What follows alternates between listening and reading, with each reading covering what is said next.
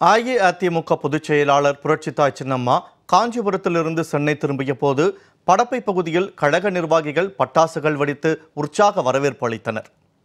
பேரறிஞர் அண்ணாவின் நூற்று பதினாறாவது பிறந்த நாளை முன்னிட்டு காஞ்சிபுரத்தில் அவரது நினைவு இல்லத்தில் அண்ணாவின் திருவுருவச் சிலைக்கு கழக பொதுச் செயலாளர் புரட்சித்தாய் சின்னம்மா மாலை அணிவித்து மரியாதை செலுத்தினார்.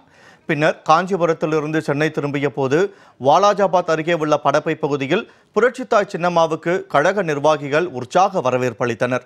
பட்டாசுகள் வெடித்தும் ஆளுயர மாலை அணிவித்தும் புரட்சித்தாய் சின்னம்மாவுக்கு எழுச்சிமிகு வரவேற்பு அளிக்கப்பட்டது. ஓடினா ஓடினா ஓடினா!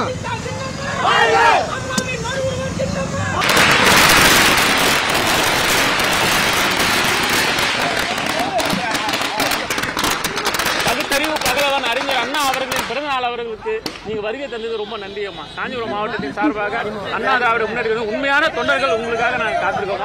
நீங்க கண்டிப்பா தமிழ்நாட்டை வந்து ஆளணும். நான் உங்களுக்காக கண்டிப்பா காத்திருக்கோம்.